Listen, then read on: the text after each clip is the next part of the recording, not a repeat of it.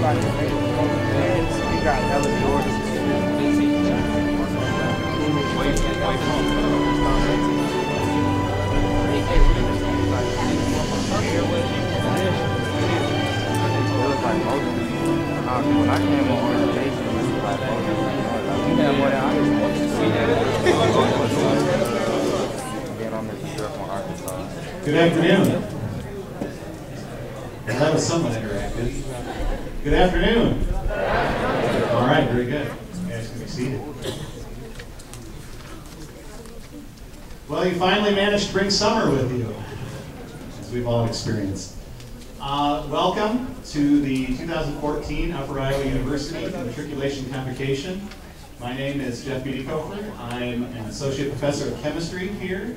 I, this is my 10th year of teaching at Upper Iowa, and I am currently faculty chair, which is why I am before you today. Uh, students, what that means for you is that feel free to use me as a resource. If you think I can help you out with anything, you have got to let me know. I would welcome the opportunity to get to know each and every one of you, so if you want to just stop by and talk to me in my office, that would be great too. I'm in the Science Building, Baker Hebron. Uh, I love to talk about things like the nature of the universe. If you are in my astronomy class, and according to my class list, a not insignificant fraction of you are, we're going to have those conversations anyway, so might as well stop by and get started. Um, I would love to talk to you if you are interested in being a member of the university pet band. And take my mic time to hear you a little shameless plug for that.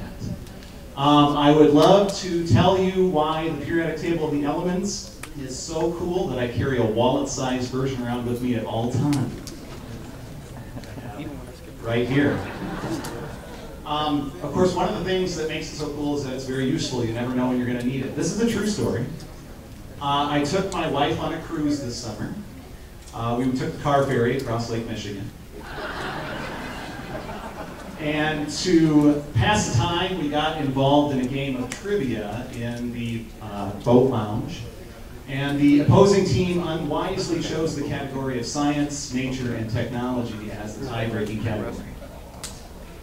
So the question was, which element has the chem chemical symbol NO, capital N-O?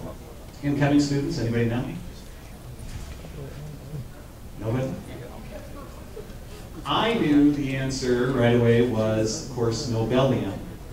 But because I don't feel compelled to memorize the periodic table because I carry one around with me at all times, I decided to double check and started digging through my wallet to find my periodic table.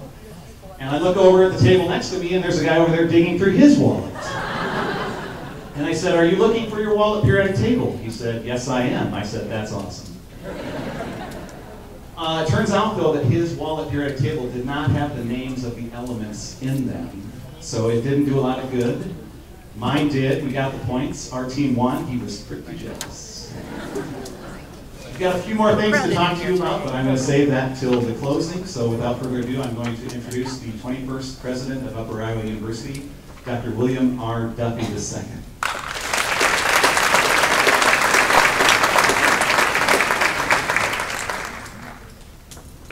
Thank you, Dr. Butikofer. And I will tell you, I am a frequent gazer uh, with Dr. Butikofer. Whenever you hear about the stargazing, I encourage you to go out. Uh, you'll get out there about 10 o'clock at night and you can see Saturn, you can see amazing things with the equipment that he has. So, um, uh, great job, Jeff, and I do encourage you all to uh, participate in these stargazing.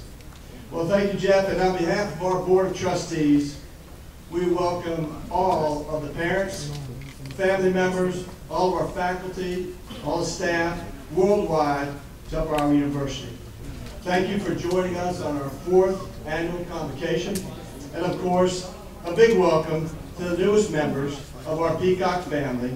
You now join a family of over 32,000 alumni, approximately 7,000 students, and over 1,000 faculty and staff in locations around the world.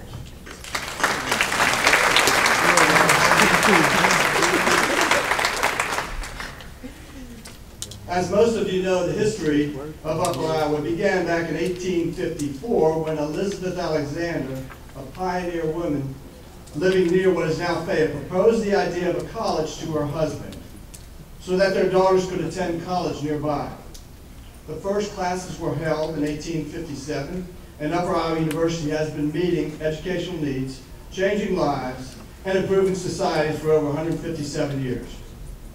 You are all now part of that history. Whether you are here at Fayette, at one of our 25 education centers in the United States, Hong Kong, Malaysia, or attaining your educational goals online or through our self-paced degree program. You incoming students are now embarking on an amazing journey where you decide which path to take. You begin today with an empty canvas. You determine how it will be colored throughout your journey as a peacock. For those of you here at Fayette, your story begins this weekend. Get involved, get to meet new people, and accept the new challenges. Here at UIU, we believe in changing lives one student at a time. You're not just a number, you are a number of our member of our global family. So exactly, who is our global Peacock family? First, your faculty. We have outstanding faculty, and they're an amazing group of professionals, professional men and women who have committed their lives to teaching, scholarship, and service. They go the extra mile in caring for our students. In fact, just two days ago, I was in Alexander Dickman outside my office. I noticed a faculty, faculty member, Dr. Jacobs. Don't mind that I mentioned your name. And I noticed him outside with about six or seven students, new incoming students. So I went outside. I asked him what was going on. And he said, well, we've decided, some of my colleagues and I, have decided to take some of our students here and bring them over to the house for dinner, to have a cookout there. I said, that's wonderful, it's fantastic. Well, that's a bit of an understatement. They actually had, uh, the faculty were over there, with Dr. Caleb Carville's place, and I know that Nigel was there and some other faculty, but there were 65 students that were there, and they were all engaged and having dinner, and uh, one of them, as even said, now I feel like I'm at home. So,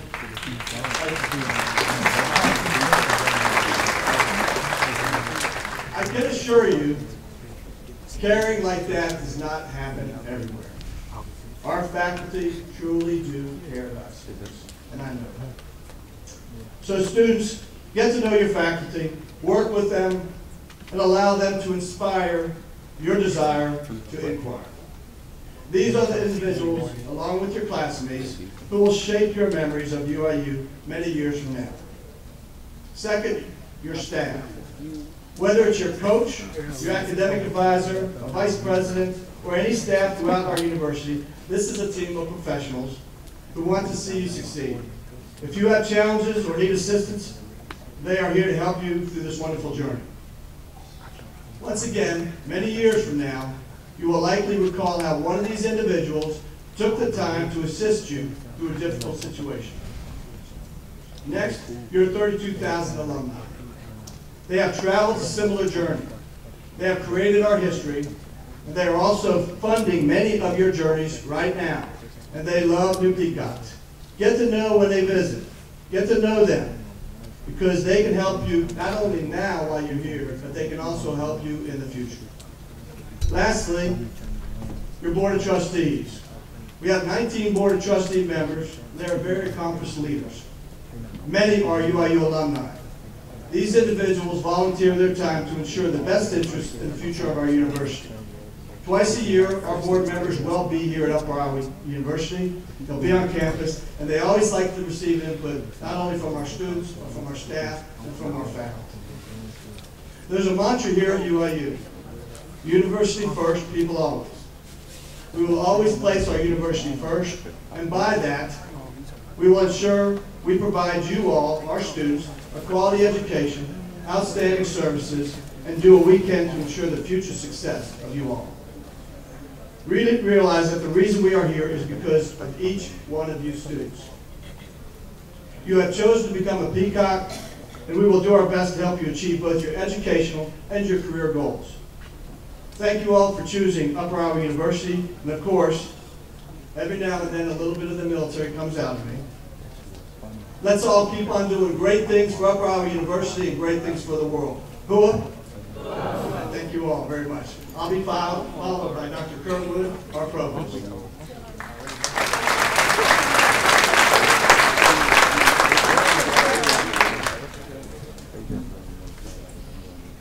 Thank you, President Duffy. I too extend my sincere Peacock Nation welcome to all our incoming students, their parents and family members, and to the Upper Iowa University faculty and staff in attendance at this afternoon's convocation. Again, I'm Kurt Wood, UIU class of 76, and the Provost and Chief Academic Officer for Upper Iowa University. You've chosen Upper Iowa to pursue your college degree. We are thankful for and humbled by your choice as you now join the ranks of some 32,000 UIU graduates, all of whom started their higher education journey with that first step, just as you do today. Since 1857, Upper Iowa University has been changing lives, one student at a time. As you embark on your college education experience, please understand that our success as a university is directly dependent upon your success as a UIU student. Doing so involves an agreement, a mutually understood arrangement between the university and its students. In accordance with the principles of our founder, Mrs. Elizabeth Alexander, UIU provides accessible, affordable, and valuable higher education programs. Degrees that provide broader opportunity for productive careers and for success in life. That said, understand that our students are responsible for the other half of that path. Each student is accountable for taking advantage and making the most of those learning opportunities, the faculty guidance, and the support systems made available by the university. For nearly 160 years, Upper Iowa students have received a liberal arts education, an approach to college learning that prepares them to deal with complexity, diversity, and change by emphasizing a broad knowledge of the wider world, as well as achieving competency in a major field of study. A liberal arts education is structured such to help you develop a balanced sense of social responsibility and to acquire communication, analytical, and problem-solving skills while having the opportunity to apply what you learn in real-world settings. As I close, please keep in mind these five common sense suggestions for success in your college endeavors here at Upper Iowa University. Number one, take control and be responsible. Hold up your end of the educational covenant. Number two, go to class. That's where information is imparted to you. Number three, be prepared to retrain your attention span to process longer units of content. Number four, schedule dedicated study times just as you have scheduled your class times. And number five, connect with your professors. UIU faculty members are dedicated professionals committed to providing you with every opportunity for success. Once again, I welcome you to the Peacock Nation. Good luck to all of you.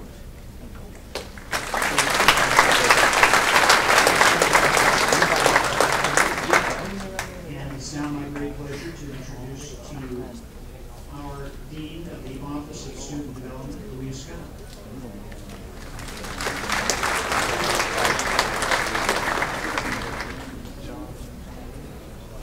Well, I can tell you, I am absolutely thrilled to be here on this historic occasion when we have so many new freshmen and we have had in my 29 years.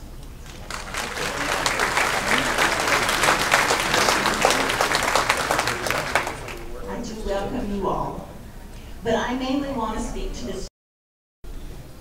As Dr. Duffy has said, you are about to begin an amazing journey, a journey that will change your life. And I believe that there are four keys to making that experience the most impactful. They are learn, lead, serve, and respect. Learn. Go to class. When you get there, you need to act as if you're having a personal one-on-one conversation with your instructors. And pick their brains. They have great knowledge. You need to be with them not only inside the classroom, but outside of the classroom. Again, learning from them. The same thing applies to your faculty academic advisor. They're there. They have the wisdom. They know how to help you. So learn from them. Learn, lead. Get involved outside of the classroom. Join a club or organization. I don't care where you are in the Peacock Nation, be it on Fayette or in a center or overseas. You can club, join clubs and organizations. You can obtain leadership positions that will be exactly what employers are looking for. They want people who know how to lead.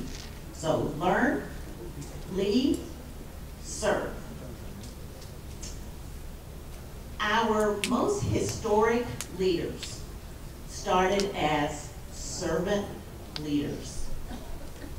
They're the ones that get in the trenches with their fellow comrades or colleagues.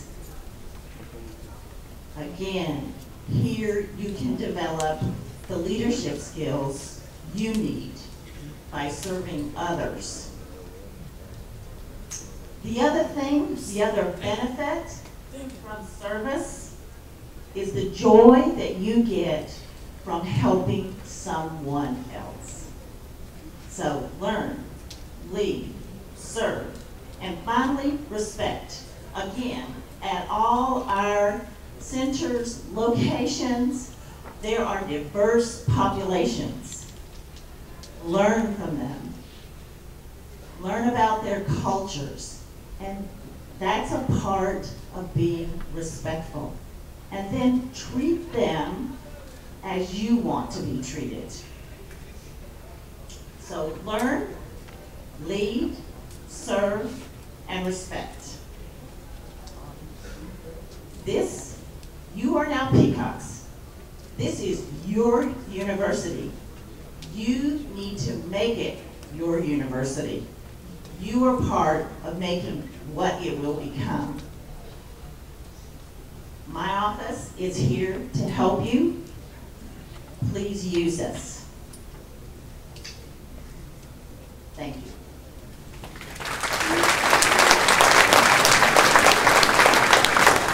By the way, go Peacocks. I have now the pleasure of introducing Cody Booker, who is the new student government president.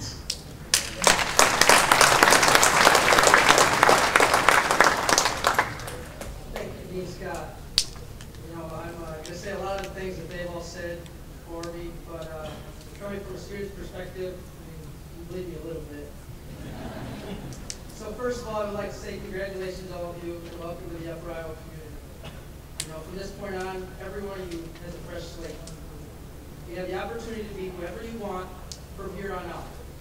UIU gives everyone a chance to get, re- to get involved and make a difference, whether you are traditional, non-traditional, commuting, or international students. Our university has endless opportunities for you. You know, the greatest things you can do during your time here is uh, get involved and let your opinion be heard. You know, if you see something you like, tell somebody. If you see something you don't like, do something to get it changed. Nora Roberts once said, if you don't go after what you want, you'll never have it. If you don't ask, the answer is always no. And if you don't step forward, you're always in the same place. There's a lot of truth to that quote. Success is inevitable if you take advantage of everything that UIU has to offer. But that is up to you. Things may get tough at times, but it will all pay off in the end. It's just like anything else in life, no matter you know what it is, what you put into it, what you're going to get out of your experience here. So as the newest members of Peacock Nation, you have the opportunity to make the greatest difference. Make it happen. Work hard, get good grades, and get involved. Put yourself out there, get out of your comfort zone, and make a difference. Good luck to everyone this year, and hang on tight, because these years in Upper Iowa are going to be some of the best of your life. Go Peacocks!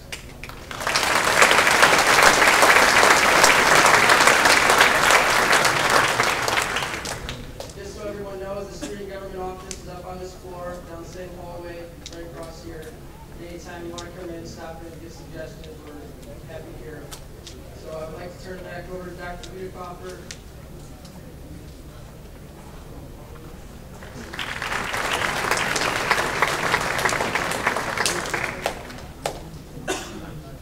One of the things that keeps me coming back teaching year after year is that teaching at Upper Iowa is a wonderful opportunity for lifelong learning. And that is a passion of mine. And I learned something a few weeks ago that I wanted to share with you today.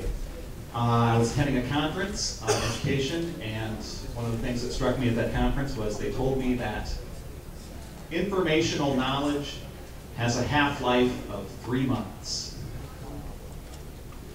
So let's see if we know what half-life means. First of all, an informational knowledge. To informational knowledge is something that I just bestow upon you. So at the beginning of the ceremony here, I told you who I was, what I did, what my purpose here was. That was informational. So after three months, how much of that are you going to retain? Half, all right, thank you. The provost knows what's going on, that's good. So if you don't take a class from me and we don't interact and we run across each other three months from now, there's a 50% chance you won't know who I am or what I do here, but you'll probably say that guy's got some cool glasses. Course, three months after that, it's another half, so there's a 75% chance.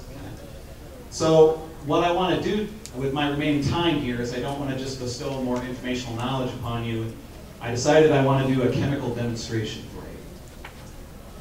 I am going to perform what's called the Briggs-Rauscher reaction. And it's really a win-win-win. Because if it works, I think you'll find it kind of cool, and you'll probably remember it maybe longer than three months. If it doesn't work and I make a fool of myself, you'll probably remind me about this at your graduation. If I set fire to myself, Dr. Duffy, or this building, you'll be telling your children about that.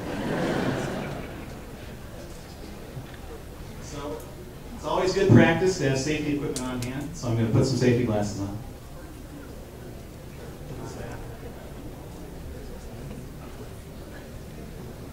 And some of you may have noticed that there's actually a fire extinguisher over on the side of the stage here. That is not meant to be part of the demonstration, but is here just in case. And so we're lowering the screen here because this is a visual demonstration and hopefully that'll give you a better background against which to see it. And I'm going to step away from the mic, I'm going to go over to the table here and I want you to focus on the big two liter flask there that I'm going to pour some solutions into. And what I want you to do is I'm going to pour two solutions into it, I'm going to step back and I want you to tell me if you see anything.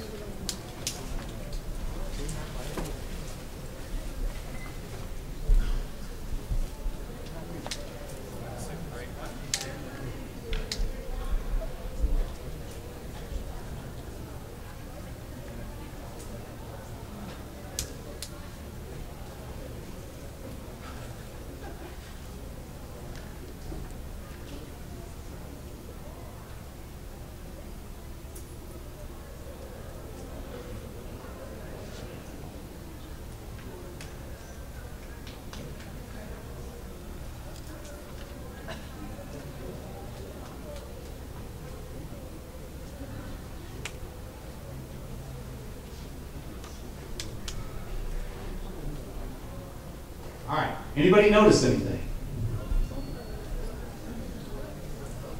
Nobody noticed anything? Yes, that's because I turned on the stirrer. All right, there's a color change. All right, if you notice the color change, come see me about majoring in chemistry. I am going to add the third solution and keep your eye on flame.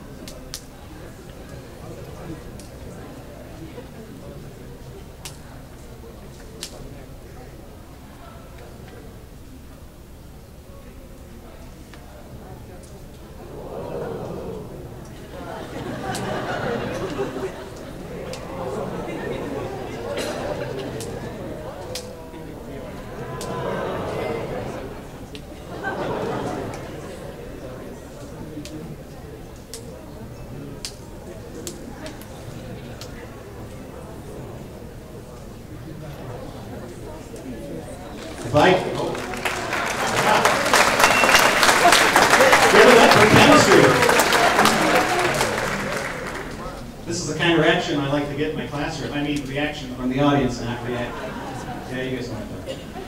Uh, this uh, reaction is a pretty interesting one. It'll continue to cycle through the color change here for another few minutes, and eventually it'll settle on a dark black color.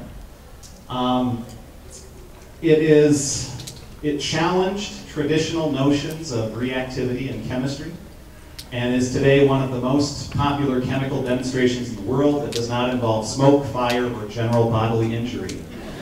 And by the way, those are my criteria for doing something here today.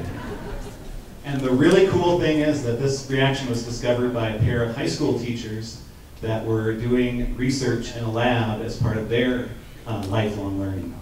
And uh, chemists today have continued to investigate this reaction, and they still cannot explain everything that is going on in that flask. So it's pretty cool. So I think what I'm trying to say is that the journey you are about to embark on here has nearly limitless possibilities, and I hope you take advantage of them. Thank you.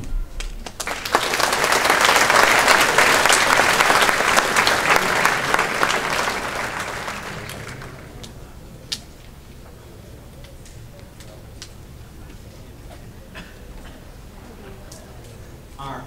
Don't think I need those anymore. Uh, we've got a little bit of housekeeping here before the recessional. Um, it's my understanding that as you came in, you got colored note cards. Is that correct? Great. All right. Now we're getting interactive concept. All right. If you, we are going to give you a chance to start to interact with the uh, faculty in your respective areas. And so if you have a yellow card, you have been placed in the School of Liberal Arts, and you are going to uh, follow John Siblick, Dean of the School of Liberal Arts. Don, John, John, sorry, you want to stand up, hold up your card? Oh. Yellow, yellow, again, yellow. Okay. And you guys are going to meet in the back of the ballroom here. And we might, there might be some logistical issues here, so we're going to see how that'll work. So after the recessional, people with the yellow card is going to meet with the liberal arts faculty, faculty in the back of the ballroom. If you have a blue card, you are a member of the Andres School of Education, and so you are going to find Dr. Gail Mormon Barons, Dean of the Andres School of Education. Gail, you want to stand up? There we go. Great. If you have a red, pinkish, orangish card, somewhere in there, you are in the School of Business, and you are going to find BJ Weitzel, Dean of the School of Business. BJ, stand up. Excellent. If you have a green card, you are in the School of Science and Mathematics. and You're going to find Dr. Scott Figdor, Dean of the School of Science and Mathematics. Oh, I haven't been saying where these people are meeting. Oh. Uh, okay. Uh, education, blue cards. You are in the middle of the ballroom by the windows over here. Again, we're going to try this, see if there's any logistical issues. Uh, that's education.